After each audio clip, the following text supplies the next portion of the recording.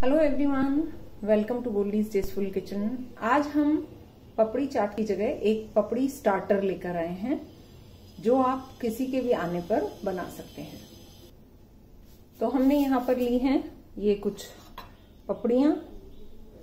पतली पतली पपड़ी हैं। ये हमने मसाले लिए हैं। भुना जीरा पाउडर है, चाट मसाला है, काला नमक है, रेड चिली पाउडर है। थोड़ा सा फेंट कर हमने ये दही ले लिया है जिसमें हमने हल्का सा चीनी डाली है इसमें मीठा किया है इसको। आप चाहें तो आ, सादा रहने दे सकते हैं। ये आलू का मसाला है मैंने सैंडविच बनाए थे उसका चटपटा मसाला बच गया है।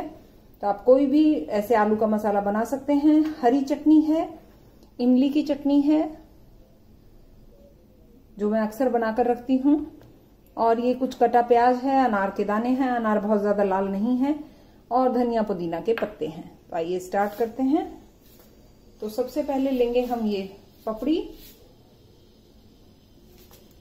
और पपड़ी पर हम सबसे पहले लगाएँगे दही।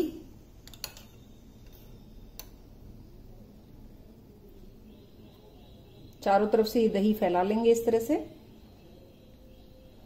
और इसके ऊपर रखेंगे ये आलू का मसाला, जिसको भी हम अच्छे से पूरा फैला लेंगे, पूरी पपड़ी पर लगाएँगे।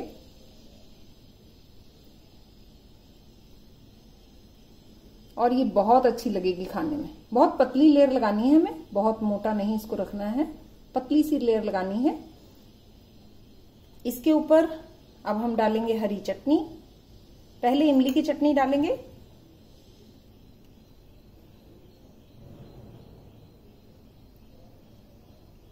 अगर आपको मेरी रेसिपी पसंद आती है तो प्लीज़ लाइक कीजिए शेयर कीजिए अपने फैमिली फ्रेंड्स में। बेल आइकन प्रेस कीजिए ताकि मेरी लेटेस्ट अपडेट्स आप तक पहुँच सके। और ये डालेंगे हम थोड़ी सी इसमें हरी चटनी। चटनियों में भी नमक है तो हमें नमक जो है वो देख कर डालना है। थोड़ी सी डालेंगे इसके ऊपर प्याज। थोड़ा सा अनार के दाने।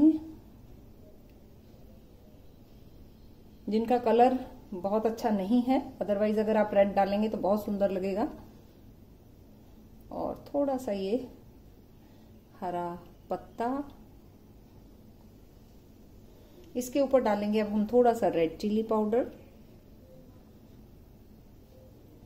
थोड़ा सा भुना जीरा। काला नमक बहुत जरा सा, क्योंकि नमक ऑलरेडी है, बस हल्का सा फ्लेवर देता है। और चाट मसाला अच्छे से। तो ये लीजिए हमारी ये बढ़िया सी पपड़ी का स्टार्टर पपड़ी चाट तैयार है।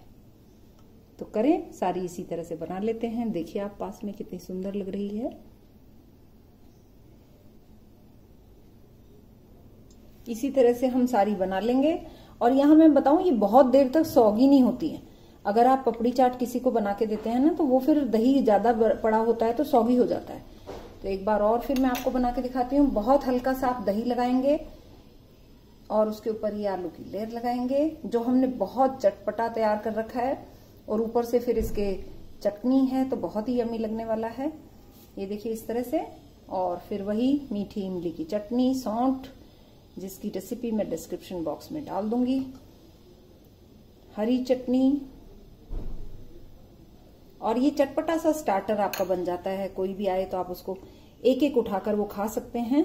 बहुत बड़ी भी ये पपड़ी नहीं होती है।